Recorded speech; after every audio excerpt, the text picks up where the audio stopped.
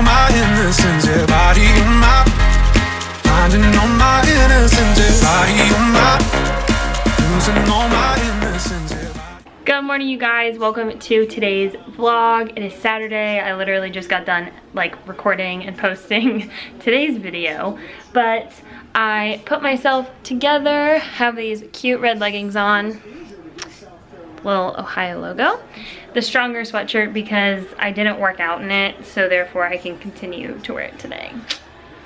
Did my makeup nice and natural, and I actually blow dry my hair. And when I blow dry it, it doesn't, it like can dry straight rather than drying out like all flipped because it's sitting on my shoulders. So, feel like a woman, looking cute, Converse. Christopher just helped me take some pictures and I got a real cute one with Bud. And now we're gonna head to the dog park. We have to pick up Molly. you wanna go back outside, huh?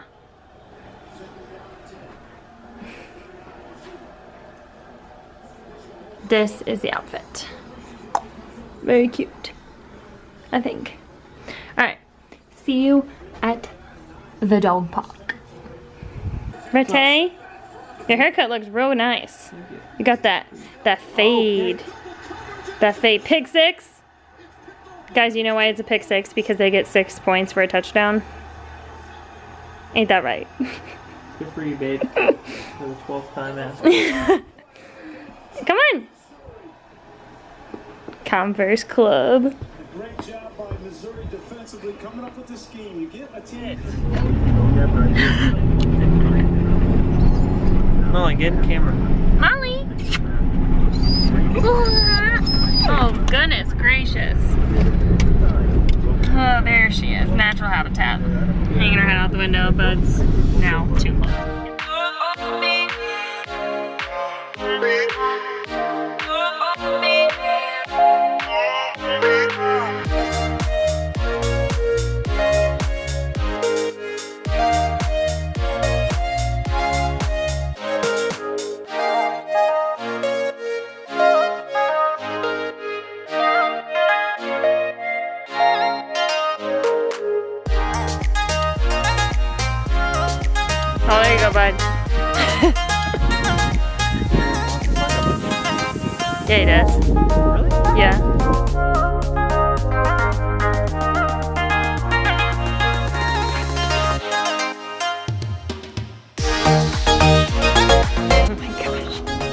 Hi, Sadie. Hi, girlfriend. Oh, you're so cute. Hi. oh my gosh. You're so handsome. You're so handsome. Are you so happy the scary dog's gone? Bill. Hey. What are you doing? Are you so happy Bud's gone? Can hang out here again. Yep. Alright. Weekend is coming to an end. It is like 7.45.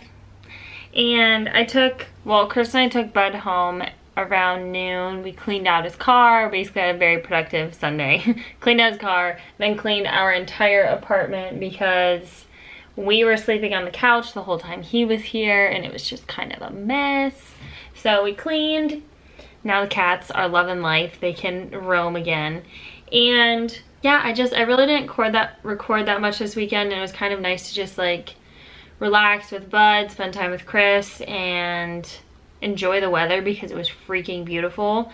And today for some reason, I'm assuming it's because one, we've been staying up later and two, I didn't get the best sleep on the couch because one, it's a couch and two, I had like a 60 pound dog laying, 60, 70 pound dog laying with me in between my legs, under my legs, on my side, basically the entire night. So I was really tired today and ended up taking a very, what seemed like to be a long nap. I don't actually know how long it was, but I was real tired.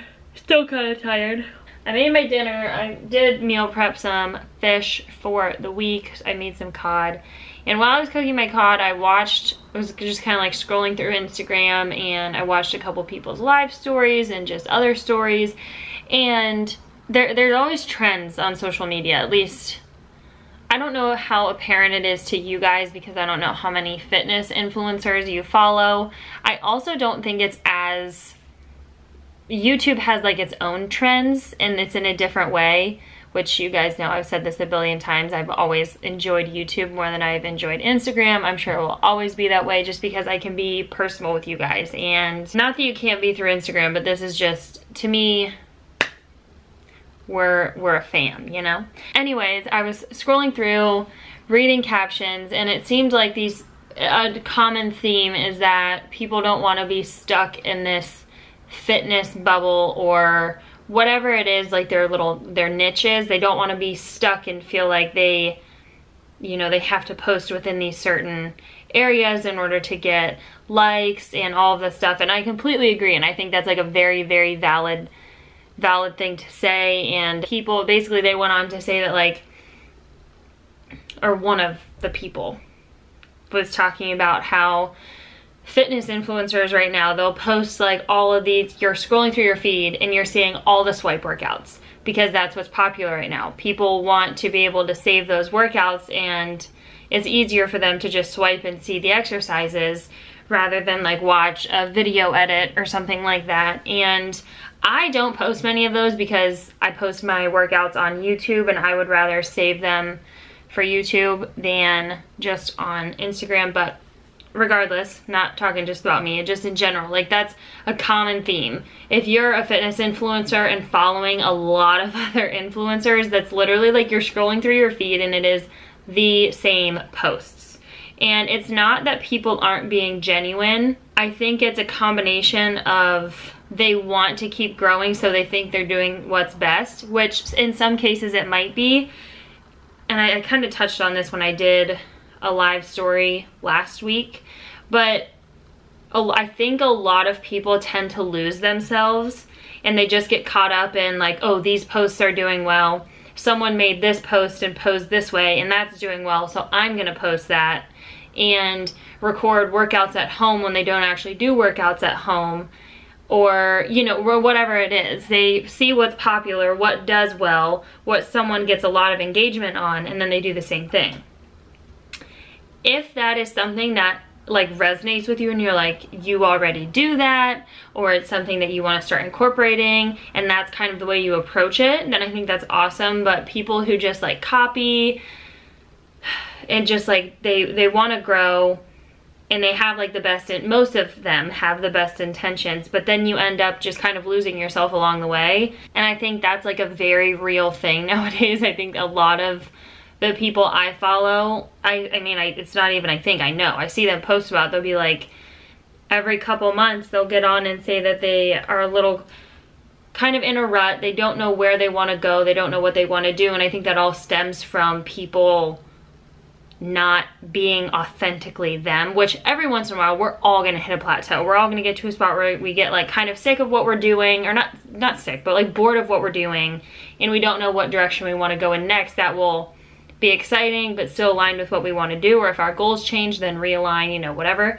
But uh, most people, I think it's mainly the fact that they never really were doing what they truly wanted to do anyway. They were kind of just fitting the mold of what social media or Instagram wanted to see and what like their followers wanted to see. I think it's super, super important to just kind of post whatever you want. If I'm not, like I'm not gonna try to pull an inspirational big long caption out of my butt when I'm not feeling inspirational or I'm not in a place where like this weekend. I just wanted to enjoy time with Bud, spend time outside. I didn't want to sit down and take all this time to write out this inspirational quote and try to think of like, what is something I could talk about? Like if it doesn't come to me naturally, I'm not just gonna start writing about something. I'm not gonna force myself to sit there and be like, okay, what could I write today that would resonate with people?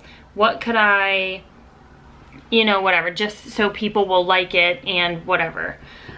With Instagram, it's different. If I do topic videos that people really want to see and like how I get motivated when I'm not motivated or how I, you know, like stuff like that I think is completely different. But Instagram photos and captions and all of that, I just think people overthink it way too much. And yeah, I don't know. You want to have an underlying purpose. You don't just want to be that person taking selfies and or not, I don't know. You can do whatever the hell you want, really. You can post whatever you want and I hate seeing like oh people are putting so much emphasis on the fact that everyone posts the same thing, but you see people who are trying to grow their Instagram or social media or whatever, YouTube, whatever it is, there's like videos on YouTube that say basically what works and especially for Instagram with the algorithm there's like certain things you have to do and I think the algorithm is like kind of forcing people into it more because they're like crap enough people aren't seeing my posts as much and then they take that personally like people don't like me or what I'm posting so I should post something like that because that post did well even though it wasn't like authentic to them if that makes sense. I don't know. I'm kind of rambling. I just have been seeing this everywhere. And my main main point I wanted to make also I haven't showered today. This is like I told you guys I was tired and yeah, this is just, this is just me. I think I do need a shower before I go to bed though because my hair is gonna be real gross tomorrow morning if I don't. Uh, anyway, main point I wanted to address is the fact that I, I've been seeing a lot of these people, like five. I saw five different posts or stories or live stories kind of over what I was just talking about people not being authentic, everything being the same, every Fitspo posting the same way, and captions are the same, pictures are the same, like the posing is the same, everything's the same. I saw all of that. And then I saw people being fake, people being there's just a lot of a lot of that vibe going around and I would be lying if I said when I scroll through my Instagram feed I don't see a lot of the same content, but I have like I've willingly wanted to see that content. Like I'm following those people for a reason. And I don't know, I guess what I'm trying to say, I don't notice that as much with the people I follow. And it just comes down to the fact that you can follow whoever the heck you want. I went through probably a year ago and then multiple times since then I went through who I was following and unfollowed a bunch of people that just were not benefiting me whatsoever. I follow different travel accounts like vacation areas, destination areas, beautiful. I follow animal Instagram pages. I follow Fitspo, Fit, I follow Fitspos. I follow some makeup, a little bit of makeup because I think it's fun to see. I love watching dance videos. Like love watching dance videos. So I have some of that on there. And the fitness people I do follow, yeah, every once in a while we're gonna have same or like similar content. It's never the same because we're different people. We approach it in different ways. But there's only so many ways to do a bicep curl. And if you're in the fitness industry, you probably should be following some other people. But if you're following the right people, then it doesn't matter. And if, if you're following the right people and if you yourself are staying authentic to who you are and the content you want to put out, then I, I don't think it matters. And I just was really, it, that's one thing I really realized and it stuck out, stood out to me while I was reading those posts and the stories and just hearing about the other people talking about it, was I was like, I know exactly what they're talking about because I that's how my feed used to be and it used to frustrate me. So I went through and I unfollowed a bunch of people, followed new people. I have a variety in the people I follow and the content I'm surrounding myself with all day because you have to take that into consideration. If you're on your phone a lot during the day and especially Instagram, if you're just scrolling, if all you're seeing is these pictures of super lean bikini chicks and you're not 100% like confident in your body or, you know, body image, whatever, even if you are, eventually it's like, it just warps your perception of what lean is or what healthy is. And same thing, I used to follow a lot of like dessert accounts. Realized that wasn't like when I was on prep. I had to go and unfollow a bunch of them because it just subconsciously, as you're scrolling, that's all I would start thinking about. I'm like, oh my god, I want these like crazy elaborate desserts. And like, that's not healthy. Whoa. So I had to unfollow some of those. Like, you just make, surround yourself with positivity and the kind of people you want to have impact your life. So I'm proud of myself that I have gotten my like my feed or you know who I follow and who I surround myself with to a point where I don't really notice that anymore because I feel like I kind of post whatever the heck I want to post. I'm definitely not gonna say I haven't like posted, I haven't fallen into that before because I think anyone has fallen into that. You see someone post something and you're like, cool, that did well, I can do that. And you do it. And it almost always never does as well because it's not authentic. People already saw that. But regardless, I feel like I've gotten to a good spot. Christopher just got home.